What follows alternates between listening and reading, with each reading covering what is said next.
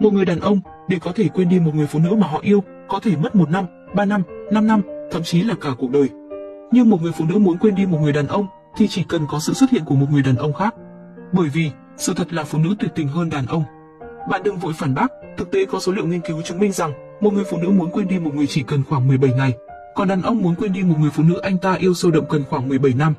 Chúng ta thường cảm thấy đàn ông dễ thay lòng, nhưng thực tế, đàn ông có thể vì một người phụ nữ họ yêu mà cự tuyệt với tất cả những người phụ nữ khác.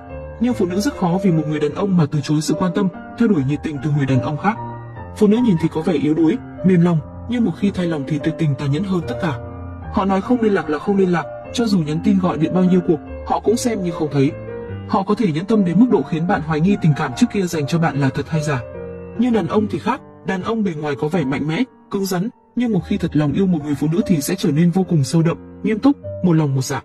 Đây cũng là nguyên nhân rất nhiều đàn ông sau khi bị tổn thương về tình cảm đều rất khó bước ra. Đối với họ, quên đi một người phụ nữ giống như một cuộc hỏa hoạn ngoài ý muốn thiêu sống họ. Họ nói với bản thân, tất cả sự chân thành mình cho đi, rốt cuộc chỉ là một trò đùa, sau đó họ dần trở nên lạnh lùng và lý trí. Tất cả mọi người đều cảm thấy họ máu lạnh và vô tình, nhưng chỉ có bản thân họ mới biết. Những điều đó được tạo nên từ những đêm khóc thầm, đau đớn tổn thương và những lần phải dùng bia rượu để tê liệt cảm xúc mà thành. Cho nên, phụ nữ đừng bao giờ đùa giỡn tình cảm của một người đàn ông như vậy.